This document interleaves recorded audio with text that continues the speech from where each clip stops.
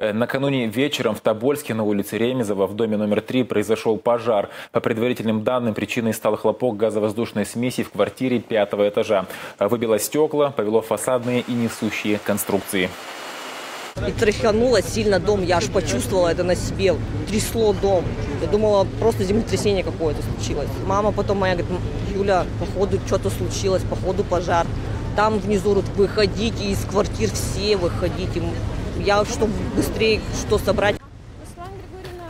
Пламя с балконной группы перекинулось на крышу жилого дома. 139 жильцов экстренно эвакуировали. Нуждающихся разместили в гостинице и хостелах. А хозяйка квартиры, в которой произошла трагедия, бортом санавиации доставили в больницу Тюмени в крайне тяжелом состоянии.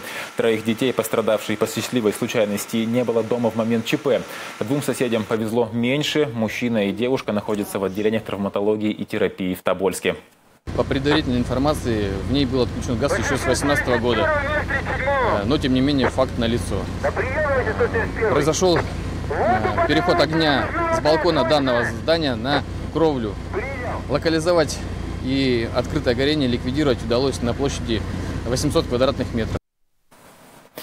Здание, где произошел взрыв, оцеплено. Специалисты проводят следственные мероприятия. Э, сегодня прошла встреча с жильцами представителей администрации города, МЧС, соцзащиты и прокуратуры. На месте работает специальная комиссия. Она сделает заключение о состоянии здания завтра, после чего будет решаться вопрос о возвращении жильцов в свои квартиры.